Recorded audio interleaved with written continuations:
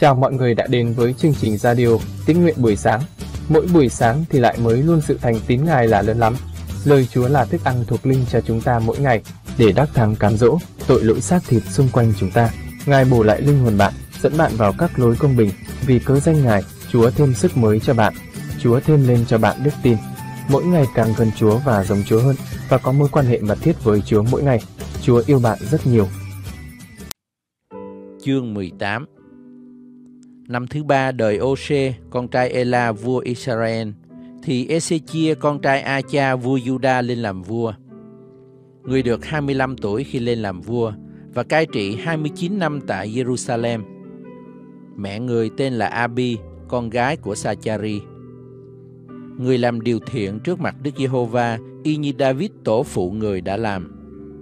Người phá hủy các nơi cao, đập bể những trụ thờ, đánh hạ các Asherah và bẻ gãy con rắn đồng mà Môi-se đã làm, bởi vì cho đến khi ấy, dân Israel xông hương cho nó. Người ta gọi hình rắn ấy là Nehutan. Ezechia nhờ cậy nơi Jehovah Đức Chúa Trời của Israel, nên trong các vua sau người hoặc trong những vua trước người, chẳng có một ai giống như người. Người chiếu mến Đức Giê-hô-va, không xây bỏ Ngài, song gìn giữ các điều răn mà Đức Giê-hô-va đã truyền cho Môi-se. Đức Giê-hô-va ở cùng người, hãy người đi làm sự gì đều được thành tựu. Người giấy nghịch với vua Assyri không phục vua ấy nữa.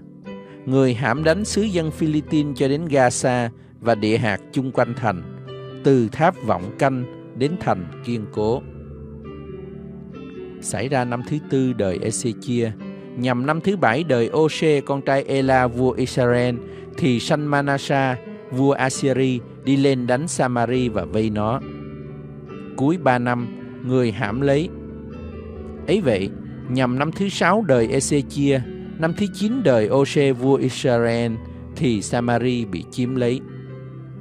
Vua Assyri đem dân Israel qua Assyri, đặt tại Chala và trên bờ Chabor sông xứ Gosan, cùng trong các thành của Medi. Ấy vì chúng không có vâng theo lời phán của Jehovah Đức Chúa Trời mình, nhưng bội giao ước Ngài, không khứng nghe và chẳng làm theo các điều mà Môi-se, tôi tớ của Đức Giê-hô-va đã truyền cho. Năm thứ 14 đời Ezechia, sang Chirip, vua Assyri, đến đánh các thành kiên cố của Juda và hãm lấy nó.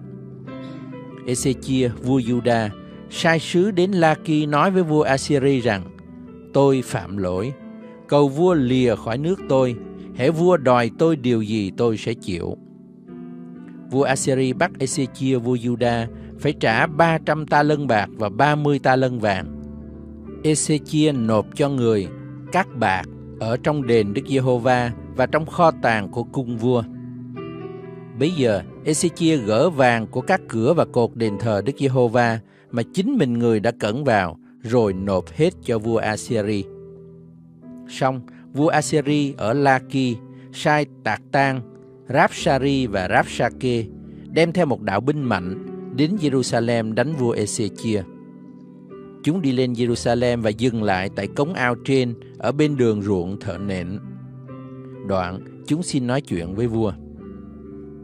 Eliakim, con trai Hinh kia, quan cai đền, Shepna, thư ký và Joa, con của Asap, quan thái sử, đều đi ra đến chúng. Rapsake nói cùng họ rằng, Ta xin các ngươi hãy nói với Ezechia rằng, Vua Assyri là vua lớn nói như vậy.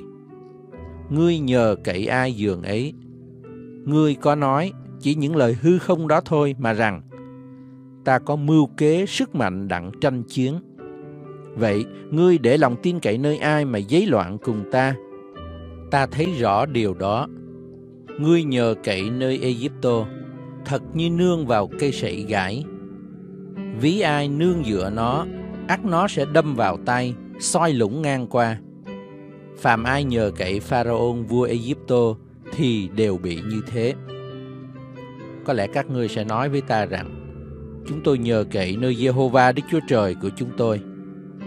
Nhưng há chẳng phải các nơi cao và bàn thờ của Ngài mà Ezechia có phá hủy, truyền cho Juda và Jerusalem rằng các ngươi khá thờ phượng Chúa tại Jerusalem ở trước bàn thờ này chăng? Thế thì, ngươi hãy đánh cuộc với chủ ta là vua Assyri.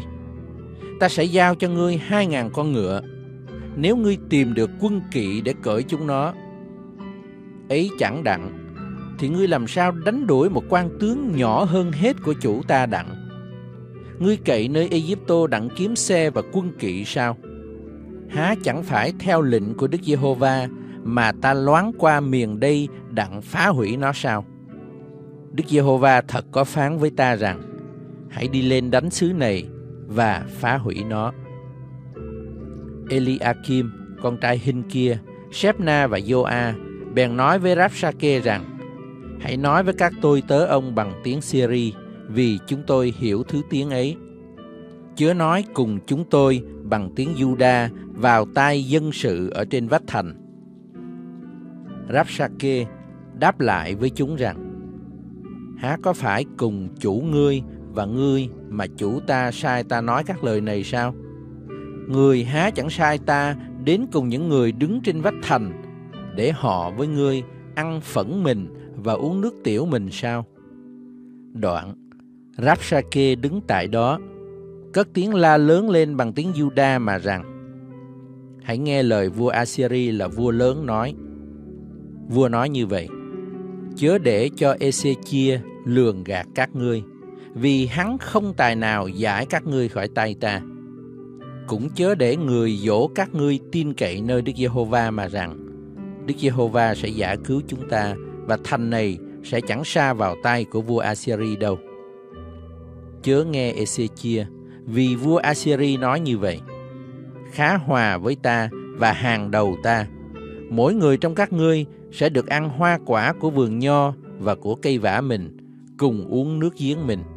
Cho đến chừng ta tới dẫn các ngươi vào trong một xứ giống như xứ của các ngươi, tức là xứ có lúa và rượu, bánh và vườn nho, một xứ xanh dầu olive và mật ong. Như thế các ngươi sẽ sống và không chết đâu. Vậy, chớ nghe Ezechia, vì hắn gạt các ngươi khi nói rằng Đức Giê-hô-va sẽ giải cứu chúng ta. Những thần của các dân tộc khác há có giải cứu xứ mình khỏi tay vua Assyri chăng? Thần của Hamas và thần của Ạc Bác ở đâu? Thần của Sê Phạt Va Im, thần của Hena và thần của Iva ở đâu? Các thần đó có giải cứu Samari khỏi tay ta chăng? Trong những thần của muôn nước, có thần nào đã giải cứu xứ họ khỏi tay ta chăng? Đức Giê-hô-va có thể giải cứu Jerusalem sao? Nhưng dân sự làm thinh, không đáp lại một lời, vì vua có truyền lệnh rằng, các ngươi chớ trả lời. Eliakim con trai Hinh kia quan cai đền, thư ký Shebna và quan thái sử Joa, con trai Asap trở về Ezechia, quần áo xé rách, thuật cho người mọi lời của Rapsake. Chương 19 Hay được tin ấy, vua Ezechia xé rách quần áo mình, mặc áo bao và đi vào đền thờ của Đức Giê-hô-va. Đoạn, người sai Eliakim quan cai đền, Shebna thơ ký và những thầy tế lễ già hơn hết mặc bao đến Esai thầy tiên tri con trai Amos. Chúng nói với người rằng Ezechia nói như vậy Ngày nay là một ngày tai nạn, sửa phạt và ô danh vì đàn bà đã đến kỳ mãn nguyệt nhưng thiếu sức đẻ con.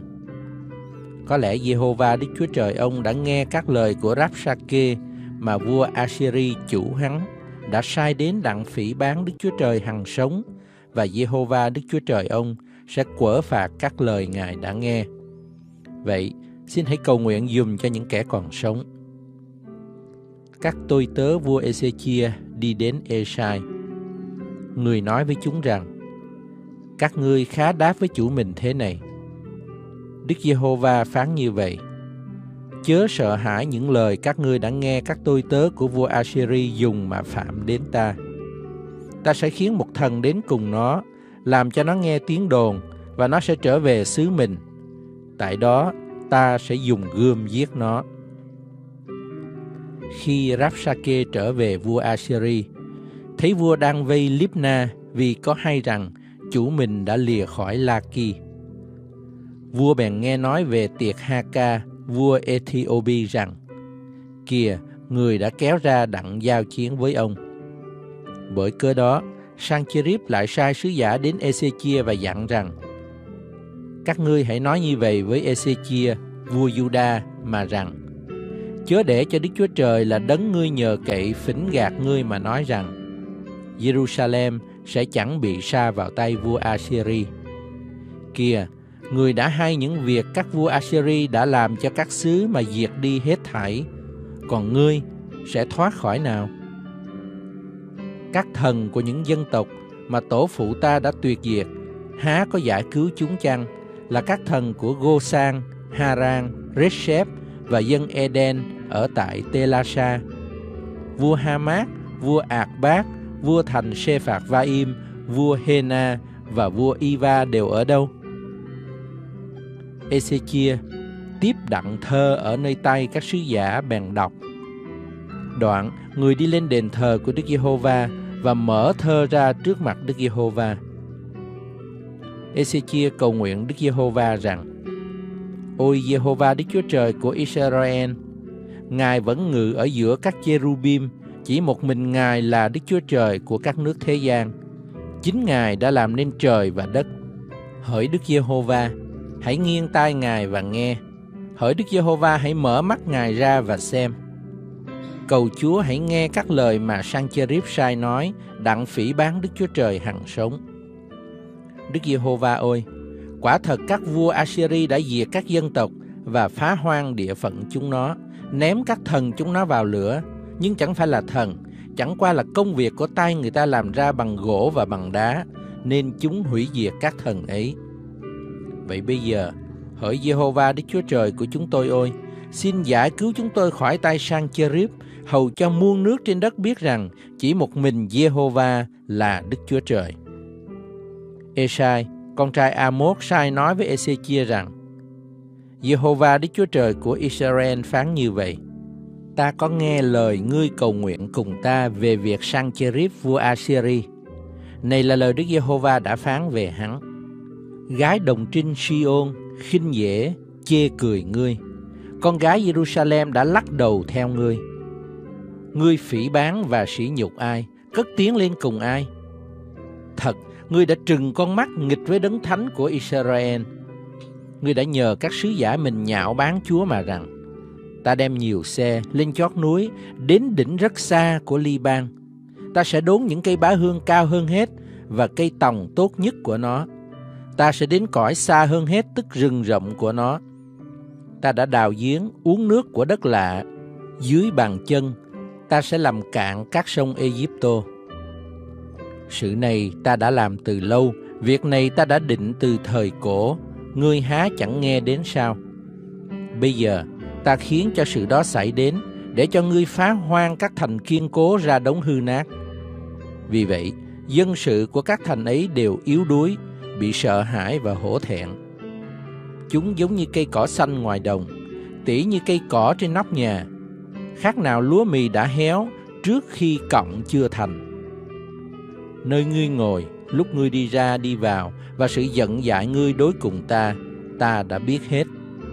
Bởi ngươi giận dại cùng ta và vì lời kiêu ngạo ngươi đã thấu đến tai ta, ắt ta sẽ xỏ cái vòng nơi mũi ngươi để khớp nơi môi miếng ngươi. Đoạn, ta sẽ khiến ngươi trở về theo con đường mà ngươi đi đến. Hỡi Ezechia, nhờ dấu hiệu này, ngươi nhìn biết rằng lời này sẽ ứng nghiệm. Năm nay, các ngươi sẽ ăn vật hột giống rớt xuống, sinh ra. Năm thứ nhì, ăn vật tự mọc lên, nhưng năm thứ ba, các ngươi sẽ gieo và gặt, trồng nho và ăn trái nó. Hệ giống gì thoát khỏi, còn lại của dân tộc Juda, dưới sẽ châm rễ xuống, trên sẽ kết bông trái lên. Vì sẽ có phần sót lại từ Jerusalem mà ra, kẻ thoát khỏi từ núi Siôn mà đến. Lòng sốt sắng của Đức Giê-hô-va sẽ làm nên việc ấy. Bởi cơ đó, Đức Giê-hô-va phán về vua Assyri như vậy: Nó sẽ không vào thành này, chẳng xạ tên trong nó, cũng chẳng kéo đến dơ khiên lên trước mặt nó và chẳng đắp lũy nghịch nó. Đức Giê-hô-va phán, nó sẽ trở về theo con đường nó đã đi đến, không vào trong thành này. Vì tại cớ ta và David kẻ tôi tớ ta, ta sẽ binh vực thành này đặng cứu nó. Trong đêm đó, có một thiên sứ của Đức Giê-hô-va đi đến trong dinh Assyri và giết 185.000 người tại đó. Sáng ngày mai người ta thức dậy, bèn thấy quân ấy, kìa chỉ là thây đó thôi. Sancherib vua Assyri bèn trở về ở tại Ninive. Một ngày kia, người thờ lại tại trong chùa Nisroch, thần của mình, thì Atramelech và Sarishe giết người bằng gươm. Đoạn, chúng nó trốn trong xứ Ararat. Esạc Hadon, con trai người, kế vị người. Chương 4 Phi-e-rơ và Giăng đương nói với dân chúng thì các thầy tế lễ, quan coi đền thờ và người Sa-đu-xe thoạt đến, tức mình vì hai người dạy dân chúng và rao truyền nhân Đức Chúa Giêsu sự từ kẻ chết sống lại.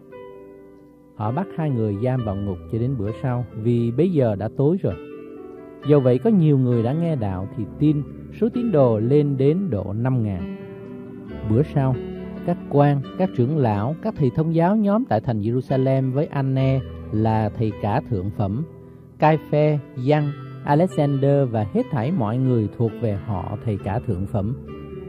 Họ bắt Phiero và Giăng đến hầu trước mặt mình và hỏi rằng Bởi quyền phép nào hay là nhân danh ai mà các ngươi làm điều này? Bây giờ Phiero đầy dẫy Đức Thánh Linh nói rằng Hỡi các quan và các trưởng lão Nếu ngày nay chúng tôi bị tra hỏi vì đã làm phước cho một người tàn tật lại hỏi chúng tôi thế nào người đó được lành? Thì hết thảy các ông và cả dân Israel đều khá biết.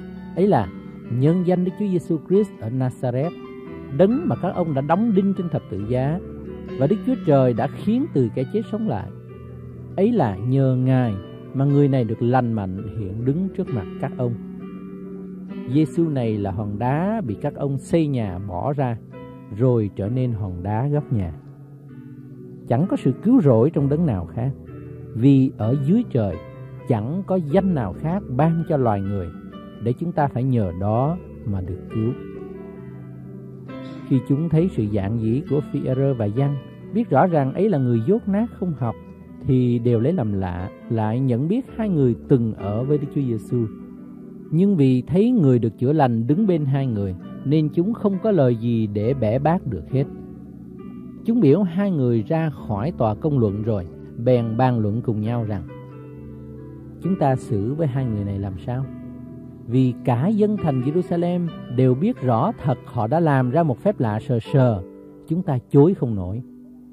Dầu vậy, hầu cho việc khỏi đồn ra trong dân nữa, chúng ta nên lấy lời ngâm dọa, cấm họ từ rày về sau, chớ lấy danh đó dạy dỗ, không cứ là ai. Họ bèn đòi hai người vào, rồi cấm tuyệt, chẳng cho nhân danh Đức Chúa Giêsu mà nói hay là dạy. Nhưng Phi-e-rơ và Giăng trả lời rằng: Chính các ông hãy suy xét. Trước mặt Đức Chúa Trời, có nên vâng lời các ông hơn là vâng lời Đức Chúa Trời chăng? Vì về phần chúng tôi, không có thể chẳng nói về những điều mình đã thấy và nghe. Vậy, họ lại ngâm dọa hai người nữa, rồi tha ra không tìm phương bắt tội vì cớ dân chúng, bởi ai nấy đều ngợi khen Đức Chúa Trời về việc đã xảy ra. Và người đã nhờ phép lạ cho được chữa bệnh đó là người đã hơn 40 tuổi. Khi chúng đã tha ra, hai người đến cùng anh em mình thuật lại mọi điều các thầy tế lễ cả và các trưởng lão đã nói. Mọi người nghe đoạn thì một lòng cất tiếng lên cầu Đức Chúa Trời rằng Lạy Chúa là đấng dựng nên trời, đất biển cùng muôn vật trong đó và đã dùng Đức Thánh Linh phán bởi miệng tổ phụ chúng tôi, tức là đầy tớ Ngài, là vua David rằng, Vì sao các dân nổi giận? Lại vì sao các nước lập mưu vô ích? Các vua trên mặt đất dấy lên, Các quan hiệp lại mà nghịch cùng Chúa và đấng chịu sức dầu của Ngài. Và Herod và Bôn-sơ-phi-lát với các dân ngoại Cùng dân Israel thật đã nhóm họp tại thành này Đặng nghịch cùng đầy tớ thánh Ngài là Đức Chúa Giêsu mà Ngài đã sức dầu cho để làm mọi việc tay Ngài và ý Ngài đã định trước. Này, Xin Chúa xem xét sự họ ngâm dọa và ban cho các đầy tớ Ngài rao giảng đạo Ngài một cách giản dĩ, dơ tay Ngài ra để nhờ danh đầy tớ thánh của Ngài là Đức Chúa Giêsu mà làm những phép chữa lành bệnh, phép lạ và dấu kỳ. Khi đã cầu nguyện thì nơi nhóm lại rúng động, ai nấy đều được đầy dẫy Đức Thánh Linh, giảng đạo Đức Chúa Trời cách dạng dĩ. Và người tin theo đông lắm, cứ một lòng một ý cùng nhau, chẳng ai kể của mình là của riêng, nhưng kể mọi vật là của chung cho nhau. Các sứ đồ lại lấy quyền phép rất lớn mà làm chứng về sự sống lại của Đức Chúa Giêsu Christ và hết thảy đều được phước lớn. Vì trong tín đồ không ai thiếu thốn cả, bởi những người có ruộng hay nhà đều bán đi, bán được bao nhiêu tiền cũng đem đến đặt dưới chân các sứ đồ, rồi tùy theo sự cần dùng của mỗi người mà phát cho.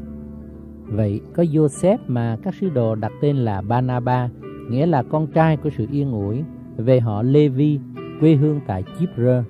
Có một đám ruộng bán đi, đem tiền đặt nơi chân các sứ đồ. Chương 5 Nhưng có một người tên là Anania, thuận với vợ là Sapphira, bán gia sản mình và đồng mưu với vợ, giữ lại một phần tiền giá bán rồi mới đem phần còn lại đặt dưới chân các sứ đồ. Pierre bèn nói với người rằng, Hỡi Anania, sao quỷ Satan đã đầy dẫy lòng ngươi, đến nỗi ngươi nói dối cùng Đức Thánh Linh mà bớt lại một phần giá ruộng đó. Nếu ngươi chưa bán ruộng đó, há chẳng phải là của ngươi sao? Khi bán rồi giữ giá đó há chẳng được sao? Điều đó nhập vào lòng ngươi thế nào? Ấy chẳng phải ngươi nói dối loài người, bèn là nói dối Đức Chúa Trời. Anania nghe nói bấy nhiêu lời thì ngã xuống và tắt hơi. Phàm người nào hai điều đó đều sợ hãi quá đổi. Nhưng các gã trẻ tuổi đứng dậy khâm liệm thay người và đem đi chôn. Khỏi đó độ ba giờ, vợ người bước vào vốn chưa hề biết việc mới xảy đến. Phi-e-rơ cất tiếng nói rằng, hãy khai cho ta, ngươi đã bán đám ruộng giá có ngàn ấy phải không? Thưa rằng phải, giá ngàn ấy đó. Phi-e-rơ bèn nói rằng, sao các ngươi dám đồng mưu để thử thánh linh của Chúa? Kìa, chân những kẻ chôn chồng ngươi đang ở ngoài cửa, họ sẽ đem ngươi đi luôn. Chính lúc đó nàng té xuống nơi chân Phi-e-rơ và tắt hơi. Các gã tuổi trẻ trở về, thấy nàng đã chết, bèn khiêng đi chôn bên chồng nàng. Cả hội thánh đều rất sợ hãi, cho đến người nào nghe tin cũng vậy. Bây giờ, có nhiều phép lạ dấu kỳ được làm ra trong dân bởi tay các sứ đồ, và các môn đồ đều hiệp một lòng, nhóm nhau dưới hiên cửa Salomon. Dầu vậy, chẳng một kẻ nào khác dám nhập bọn với môn đồ, nhưng dân chúng thì cả tiếng ngợi khen. Số những người tin Chúa càng ngày càng thêm lên, nam nữ đều đông lắm, đến nỗi người ta đem kẻ bệnh để ngoài đường, cho nằm trên giường nhỏ hoặc trên chõng, để khi Fierro đi ngang qua, bóng của người ít nữa cũng che được một vài người. Dân sự ở các thành lân cận cũng lũ lượt kéo tới thành Jerusalem, đem đến những người đau ốm và kẻ bị tà ma khuấy hại, thì hết thảy đều được chữa lành. Bây giờ, thầy cả thượng phẩm và những kẻ theo người, ấy là phe Sadduce đều đứng dậy đầy lòng ghen tương, bắt các sứ đồ bỏ vào khám công. Nhưng đương ban đêm, có một thiên sứ của Chúa mở cửa khám cho sứ đồ ra và dặn rằng Đi đi, hãy trường mặt nơi đền thờ mà rao giảng cho dân chúng mọi lời này của sự sống. Sứ đồ nghe bấy nhiêu lời, vừa lúc rạng ngày vào đền thờ, khởi sự dạy dỗ. Nhưng thầy cả thượng phẩm và những kẻ ở với người đến thình lình, nhóm tòa công luận và hết thảy trưởng lão của dân Israel lại, sai người vào khám đặng điều các sứ đồ đến. Các kẻ sai đến khám không thấy sứ đồ tại đó, bèn trở về trình rằng Chúng tôi thấy khám đóng kỹ, lính canh đứng ngoài trước cửa, nhưng lúc mở ra chẳng thấy một người nào ở trong. quan coi đền thờ và các thầy tế lễ cả nghe vậy đều bực tức về việc các sứ đồ và về manh mối của việc ấy. Nhưng có người thoạt đến báo với họ rằng Kìa, những người mà các quan đã bỏ tù nay đương ở trong đền thờ dạy dỗ dân sự. Kế đó, quan coi đền thờ và các kẻ sai cùng đi đến nơi bắt và dẫn các sứ đồ đi, nhưng không dùng cách dữ tợn vì sợ bị dân chúng ném đá. và khi điệu các sứ đồ đi rồi thì đem đến tòa công luận. Thầy cả thượng phẩm tra hỏi các sứ đồ rằng, chúng ta đã cấm nhặt các ngươi, không cho lấy danh đó mà dạy dỗ, song các ngươi lại làm cho thành Jerusalem đầy dẫy đạo giáo mình. Vậy các ngươi muốn khiến máu người ấy đổ lại trên chúng ta sao? Phi-e-rơ và các sứ đồ trả lời rằng, thà phải vâng lời Đức Chúa Trời, còn hơn là vâng lời người ta. Đức Chúa Trời của tổ phụ chúng ta đã khiến Đức Chúa Giêsu sống lại, là đấng mà các ông đã treo trên cây gỗ và giết đi. Đức Chúa Trời đã đem đấng ấy lên bên hữu Ngài, làm vua và cứu Chúa để ban lòng ăn năn và sự tha tội cho dân Israel. Còn chúng ta đây là kẻ làm chứng mọi việc đó, cũng như Đức Thánh Linh mà Đức Chúa Trời đã ban cho kẻ vâng lời Ngài vậy. Họ nghe mấy lời thì nghiến ngầm, giận hoảng, bàn mưu giết các sứ đồ. Nhưng một người Pharisee tên là Gamaliel làm luật sư, được dân sự tôn kính, đứng lên giữa tòa công luận, truyền lệnh đem các sứ đồ ra ngoài một lát. Kế đó người nói rằng, hỡi người Israel, hãy cẩn thận về điều các ngươi sẽ xử với những người này. Trước đây, Theo đa giấy lên, xưng mình là kẻ tôn trọng, có độ 400 người theo hắn. Hắn bị giết và cả thảy những kẻ theo hắn đều tan lạc rút lại chẳng qua là hư không. Kế hắn thì có Juda người Galilee dấy lên về thời kỳ tu sổ dân rủ nhiều người theo mình, nhưng rồi cũng chết, bao nhiêu kẻ theo phải tan tành. Nay ta khuyên các ngươi, hãy lánh xa những người đó để mặc họ đi. Vì nếu mưu luận và công cuộc này ra bởi người ta thì sẽ tự hư đi. Nhưng nếu bởi Đức Chúa Trời ra thì các ngươi phá diệt những người đó chẳng nổi và lại là liều mình đánh giặc cùng Đức Chúa Trời. Chúng nghe theo lời người thì đòi các sứ đồ trở vào, sai đánh đòn, rồi cấm không được lấy danh Đức Chúa Giêsu mà giảng dạy. Đoạn tha ra. Vậy, các sứ đồ từ tòa công luận ra đều hớn hở về mình đã được kể là xứng đáng chịu nhục vì danh Đức Chúa Giêsu. Ngày nào cũng vậy, tại trong đền thờ hoặc từng nhà, sứ đồ cứ dạy dỗ rao truyền mãi về tin lành của Đức Chúa Giêsu, tức là Đấng Christ. Thi Thiên 122 Tôi vui mừng khi người ta nói với tôi rằng ta hãy đi đến nhà Đức Giê-hô-va. Hỡi Jerusalem, chân chúng ta dừng lại trong các cửa ngươi. Jerusalem là cái thành được cất vững bền, kết nhau tề chỉnh.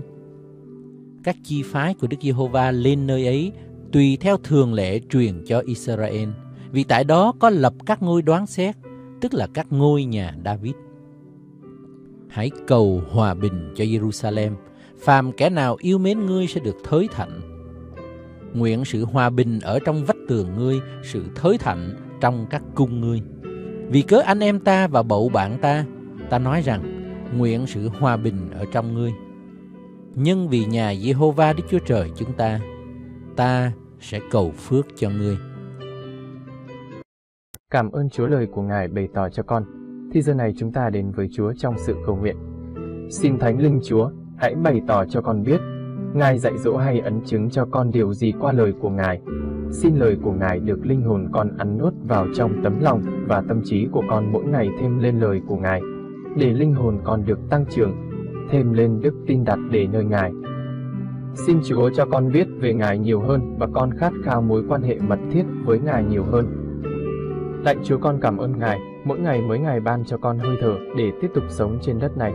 Con nguyện huyết báo của Chúa Giêsu Christ thanh tẩy, tẩy sạch, bôi xóa những suy nghĩ, tư tưởng, hành động trong tâm trí, trong tấm lòng của con như ấy là gian dâm, ô uế, lung tuồng, thờ hình tượng, phù phép, thù oán, tranh đấu, ghen ghét, buồn, giận, cãi lẫy, mất bình, bè đảng, ganh gổ, say sưa, mê ăn uống, cùng các sự khác giống như vậy. Con nguyện xin dòng huyết báo của Ngài tẩy sạch bôi xóa sự xác thịt của con không đẹp lòng Ngài ra khỏi con ngay giờ này. Bây giờ con được thánh sạch đứng trước mặt Ngài. Chúa ơi xin hãy cáo trách và thanh tẩy khi môi miệng con nói điều dơ giấy không đẹp lòng Ngài. Xin Chúa hãy thêm sức và hướng dẫn con ăn, hoặc uống, hay là làm sự chi khác, hãy vì sự vinh hiển Đức Chúa Trời mà làm. Xin Chúa thêm lên cho con đức tin để mỗi ngày con trong cậy nơi Chúa càng hơn. Xin Chúa thêm lên sự sức giàu trên con để con bày tỏ danh của Ngài trên chính đời sống hàng ngày của con, để con như muối của đất, ánh sáng của thế gian. Con nguyện Thánh Linh Đức Chúa Trời đổ đầy, đầy dẫy con Chúa ơi, những bông trái của Thánh Linh, ấy là lòng yêu thương, sự vui mừng, bình an nhịn nhục, nhân từ, hiền lành, trung tín, mềm mại, tiết độ đầy dẫy trên con. Con xin Chúa thêm sức mới, thêm đức tin cho con. Xin Chúa dẫn dắt con để con đắc thắng một ngày mới trong ngày. Con cảm ơn Chúa, con dâng mọi vinh hiển tôn quý lên ba ngôi Đức Chúa Trời toàn năng, và phước hạnh con nhận lãnh từ nơi Ngài. Và con thành kính dâng lên cha lời cầu nguyện trong danh Chúa Giêsu Christ. Amen. Cảm ơn bạn đã lắng nghe. Xin Thánh Linh Chúa cho sứ điệp này, để khích lệ thêm động lực bạn bước đi với Chúa mỗi ngày. Mọi đóng góp, ý kiến hay góp phần dâng hiến cho chương trình, xin gửi về gmail dưỡng linh cơ đốc 2020a gmail.com. Bạn ủng hộ chương trình bằng cách chia sẻ chương trình rộng rãi trên mạng internet cộng đồng xã hội. Hẹn bạn dưỡng linh hàng ngày tiếp theo. Chúa yêu bạn rất nhiều.